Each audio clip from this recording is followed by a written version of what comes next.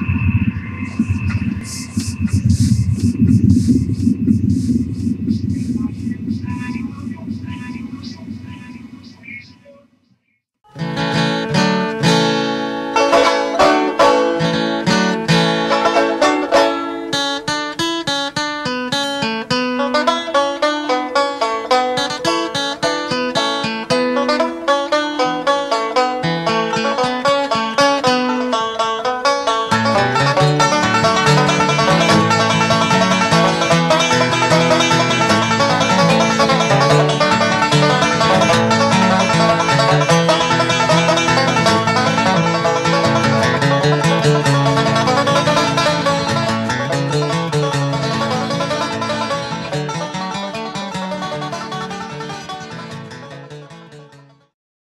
June 14th is Flag Day, and, and what a wild one it's been. To honor this most hallowed day, we sent Mo Rocca to meet perhaps our country's greatest living freedom fighter. North Adams, Massachusetts. The morale is low here. The economy gone bust. And all because the people here are denied one basic human freedom.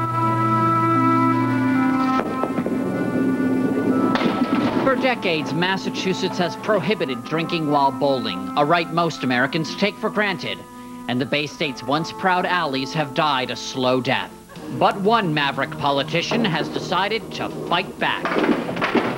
Massachusetts, birthplace of American independence, yet the bowling peoples of this state are not free to drink. Is this Dan Bosley's battle cry of bowling freedom? Well, freedom for those people who want to enjoy themselves in bowling alleys. Freedom for those people who think that there's nothing wrong with having a few beers. And freedom for those people who like to mix both beer and bowling. Give me beer and bowling or give me death? I, I couldn't say it any better myself. Massachusetts bowlers, desperate for freedom, have escaped along an underground railroad, arriving in New York, land of beer and bowling. But at what price freedom?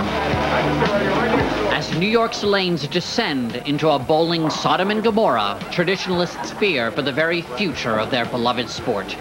Duncan McPherson, do you think that drinkers who bowl threaten bowling's chance of becoming an Olympic sport? Uh, I think we have to work hard to overcome the idea that bowlers and beer go together. How does alcohol affect bowling? Well, I think if uh, they drink too much, it affects their average. But does it? The Daily Show conducted one of its scientific tests, pitting sober head-to-head against boozy. How is a bowler's performance affected after one beer? I think there's a slight diminishing in his capability to hit the mark that he's shooting for.